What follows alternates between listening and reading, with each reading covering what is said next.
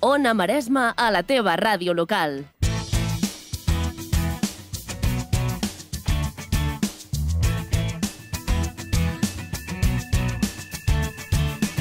El Departament d'Interior va presentar fa un parell de mesos la darrera enquesta sobre violències masclistes a Catalunya i els resultats són força preocupants. Gairebé un 80% de les dones encastades afirmant haver patit com a mínim un fet de violència masclista al llarg de la seva vida. La violència sexual és la que més han patit les dones majors de 16 anys i concretament un 65,2% dels casos de violència masclista són de caire sexual, però també és destacable el percentatge de dones que han patit violència violència psicològica, un 47,5%, i violència digital, un 28%. Avui volem parlar d'aquest tema amb la Núria Arassa, i és la psicòloga del Servei d'Informació i Atenció a la Dona, CIAT, del Consell Comarcal del Maresme. Com estàs, Núria?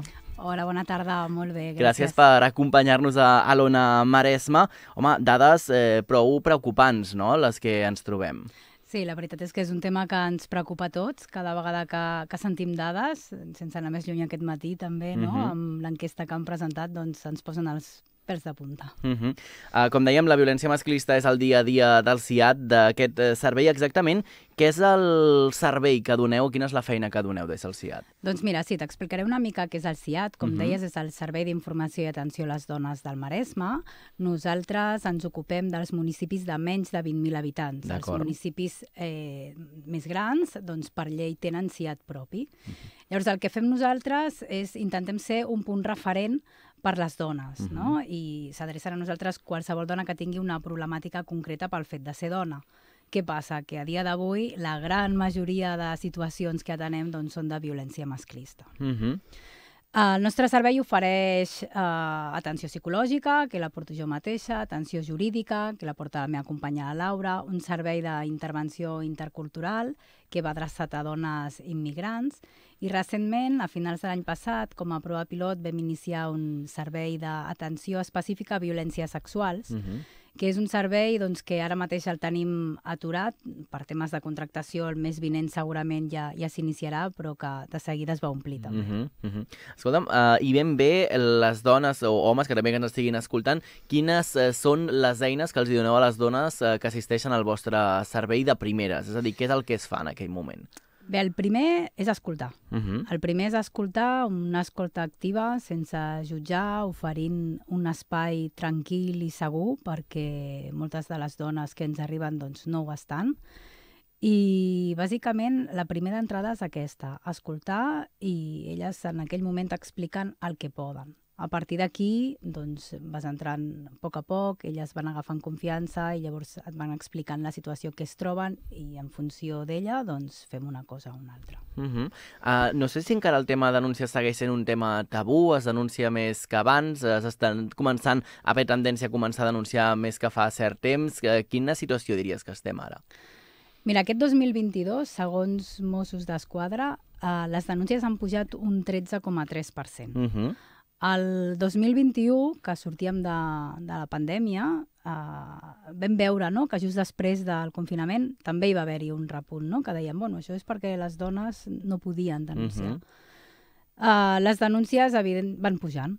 Um, què passa? Que la dona a dia d'avui s'atreveix més a parlar, a trencar el silenci, que dèiem, no? La denúncia ens ensenya una part molt petita d'aquesta problemàtica, perquè realment el que sí que ens trobem és que hi ha molta dona que no vol denunciar, ja no tant perquè sigui tabú, sinó mm -hmm. perquè és un procés llarg, complex, emocionalment desgasta moltíssim, no sempre s'aconsegueix el que un vol, i per tant eh, una de les nostres tasques també doncs, és enfortir la dona uh -huh. per veure si realment val la pena denunciar o simplement fem un, un altre tipus de, de, de treball. Uh -huh. Aquestes dades que comentàvem, no? dèiem aquest uh, 65,2% dels casos de violència masclista que són de caire sexual, però què podem considerar uh, violència sexual? Perquè és un concepte una mica més ampli, no? Segurament la gent potser només està pensant doncs, en, en, el, en el cas de, mm, no ho sé, més explícit, però què es pot considerar tot plegat? Mira, tu ho deies ara mateix, eh? El, cas de, el tema de violències sexuals és un tema molt complex, no? Mhm. -huh. I jo diria que és de les violències que més danya a la persona. De fet, eh, quan les dones venen, Uh, sempre t'acaben dient que se senten trencades per dins, llavors eh, danya moltíssim a la persona, tant a nivell eh, físic com emocional, com psíquic, no? Llavors, clar, quan pensem en violència sexual, pensem en una violació. Clar. Uh -huh. val? pura i dura, la violació que hem vist doncs, a les pel·lícules, uh -huh. etc. I realment això es dona, però hi ha molta violència sexual invisible. No? Uh, pensa que la violència sexual recentment uh, l'hem començat a etiquetar, per dir-ho d'alguna manera. No? Uh, quan et ve una dona i li preguntes directament si ha patit violència sexual, la uh -huh. resposta quasi sempre és no, perquè pensa en aquesta violació. Exacte. Quan tu entres a treballar, te n'adones que hi ha violència sexual dins la pròpia parella, no? -huh. Perquè el fet de que uh, doncs, la teva parella no contempli si tu tens ganes de tenir sexe o no tens ganes, que et toqui on tu no vols, que no tingui en compte els teus sentiments, etc. Això és violència sexual. -huh. Anar pel carrer i que et diguin coses doncs, desagradables relacionades amb el teu físic, amb el sexe, etc. Això és violència sexual, tot l'assetjament. Llavors hi ha un ventall molt ampli que fins que no fas un treball eh, no te n'adones que també l'has patit. Uh -huh. Per això és importantíssim el que ens deies uh, fa uns minuts, també saber escoltar, no? I deixar que la persona ho expliqui, perquè segurament si no tens aquestes dades no es pot acabar fent aquest diagnòstic complet, no? Exacte, exacte. S'ha de donar temps, s'ha de pensar que segurament Uh, és la primera vegada que ho estan explicant en un entorn... Mm, segur, podríem segur, dir. Segur, exacte. Uh -huh i, a més a més, tenen molta vergonya i molta culpa, no?, també a l'hora d'explicar de, de, i segurament que algun cop han intentat explicar, s'han sentit qüestionades, mhm. jutjades, uh -huh. Uh -huh. i mhm. llavors, mm, bueno, els hi costa, no?, d'un primer moment. Uh mhm. -huh.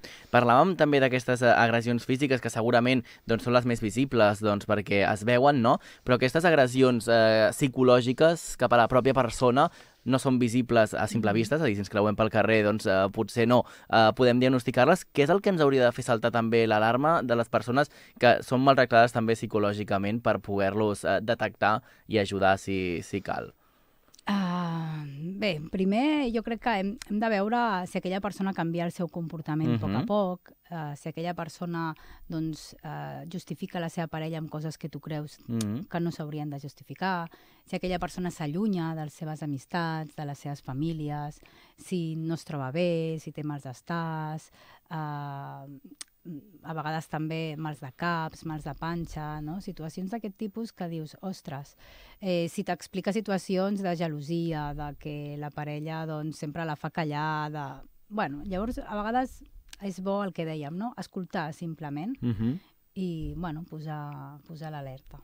Molt bé, doncs eh, posar aquesta uh, alerta. També eh, volia parlar amb tu d'aquest sentiment de culpa no? que a vegades eh, mm. tenen eh, les dones o la persona que va a posar doncs, eh, una denúncia o que vol plantejar fer eh, una denúncia d'aquest cas. Què li podem dir a aquesta persona agredida i que té aquest sentiment de, de culpa? Bé, el sentiment de culpa hem de pensar que és algo molt natural amb, amb les violències, no? quan una persona pateix violència. D'entrada, perquè quan tu estàs a dins, uh -huh. ja s'ocupa el maltractador de fer-te veure que tot és culpa teva. No? Llavors, eh, realment, tu acabes pensant, és així, no? Tu acabes pensant doncs, que aquell crit, que aquella bronca, que aquell cop, que aquella baralla és perquè eh, doncs millor he tirat més sal del compte al menjar o uh -huh. per qualsevol cosa. Llavors sempre acabes pensant si jo no hagués fet, si jo no hagués dit, uh, si jo hagués sabut que ell venia cansat. Uh -huh. Llavors aquest sentiment de culpa es va fent gran. A més a més, com que fa molta vergonya explicar això, que normalment no s'explica, el sentiment de vergonya també existeix Clar. i entre un i l'altre doncs, es fa un còctel. Uh -huh. Què passa quan la persona surt? quan la persona surt d'aquell entorn, torna a aparèixer una altra vegada el sentiment de culpa. Llavors el sentiment de culpa va enfocat cap a una altra banda. Per què he aguantat tant? Uh -huh. Què he fet jo aquí dins? Perquè tu estàs fora i llavors comences a veure el que les altres persones també veien, no? O una part. I llavors aquest sentiment, doncs, estan allà. Què ens toca fer nosaltres? Doncs treballar aquest sentiment, no? Primer deixar que l'expressin, escoltar-lo, eh, no enfadar-te amb aquest sentiment de culpa, sinó treballar-lo, no? Uh, fer-lo visible i mitjançant la psicoeducació, o sigui, mitjançant l'explicació de què és la violència, què és el cercle de violència, uh, quins patrons les persones doncs, eh, utilitzem d'autoprotecció que se'ns activen de manera uh -huh. automàtica. Uh, explicant tot això, a poc a poc la persona va prenent consciència i aquest sentiment doncs, va, afablint-se. Uh -huh. Núria, tenim un cas eh, molt mediàtic, no? que és el cas de, de Dani Alves, que de nou torna a posar el focus també en els eh, locals d'oci eh, d'ambients nocturns. Aquí a la comarca també vam tenir un, un cas eh, no fa gaire temps i és cert que des del Consell Comarcal del Maresme veu elaborar un protocol eh, doncs, justament per eh, veure, per analitzar doncs, totes aquestes conductes eh, violentes en espais d'oci. Um, en què consisteix i quines són les línies que marca aquest eh, protocol que heu fet des del Consell Comarcal? Bé, primer deixa'm dir que cada vegada que hi ha un cas mediàtic um, doncs ens alegrem una mica, no?, mm -hmm. de que es posi l'altaveu. Perquè per... segurament crec, no sé, ara ens ho diràs eh, tu, eh, però també em sembla que a vegades noies que potser han patit situacions similars que en aquell moment no van saber identificar, no? Potser per veure-ho a la televisió diuen, escolta'm, doncs a mi va passar una cosa similar, o a la meva amiga fa tant temps li va passar una cosa també similar a aquesta que estic veient a la televisió, no? Exacte, exacte. Sí, sí. Això ens ajuda moltíssim a que les persones puguin identificar, uh mhm. -huh. tant persones que mai s'han acostat al CIAT, com persones que potser estàs treballant i, i costa que, que puguin fer la conceptualització i de cop i volta fan el clic, no? Uh mhm. -huh. Doncs perquè, sí, perquè ha aparegut cas Dani Alves eh, fa un any o no recordo quan era cas Rocito, que mm -hmm, també va sí, ajudar molt sí. a posar la visió a la violència vicària. No? Aquests casos doncs, ens ajuden. És un cas més perquè realment no és més important que la resta, és mm -hmm. igual d'important que el de qualsevol altra persona que, que pateix, però sí que realment el seu impacte um, és espectacular no? i nosaltres ho notem, hi ha mm -hmm. un repunt.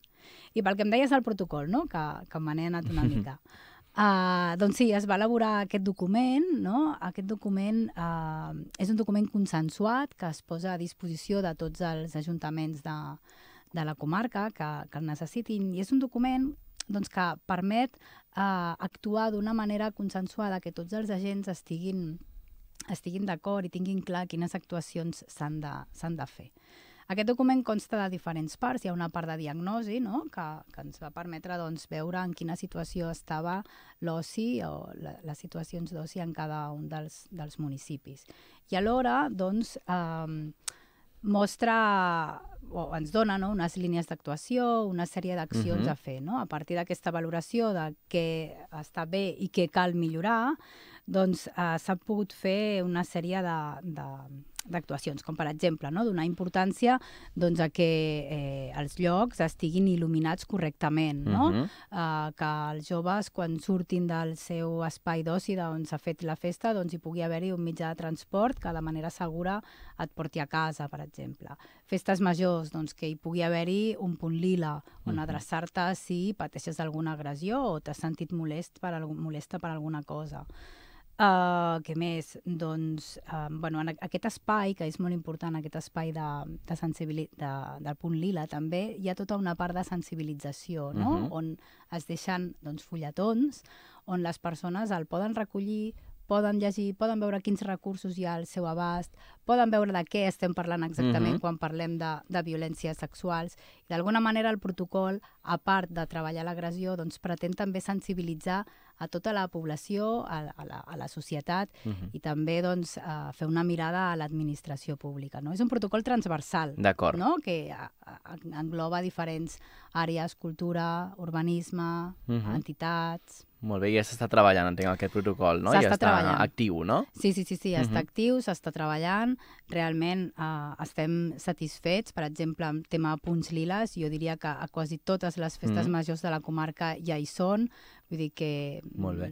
Núria, per acabar, perquè ens estem anant una mica de temps, però no passa res perquè el tema és prou eh, important, eh, què ha de fer una dona que estigui patint violència masclista o algú que ho presenci o que algú el faci còmplice, com ha d'actuar? On s'ha d'adreçar? Com hem de, de procedir?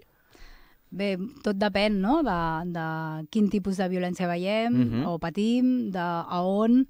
Uh, jo sempre dic no? que les persones que la pateixen, sobretot, doncs, que no callin, que s'adrecin a algun servei, si pot ser de confiança, sigui uh, metge de capçalera, per uh -huh. exemple, nosaltres al CIAT, serveis socials, entitats, uh, tots aquests, uh, Mossos d'Esquadra, policia local, tots aquests serveis segur que la podran atendre i la podran ajudar. Hi ha la línia telefònica també del 900 900 120, uh -huh. que està a les 24 hores del dia, i qualsevol altra persona doncs, que ho presenci exactament el mateix, i sobretot també uh, no obligar mai a la víctima a denunciar ni a fer res que ella uh -huh. no vulgui, sinó escoltar-la i respectar el seu temps. Feu un acompanyament, eh? Exacte. Núria, moltes gràcies per acompanyar-nos avui a l'Ona Maresma. Torna quan vulguis. A vosaltres, Fins moltes la propera. gràcies. I nosaltres anem a conèixer què passava tal dia com avui. Música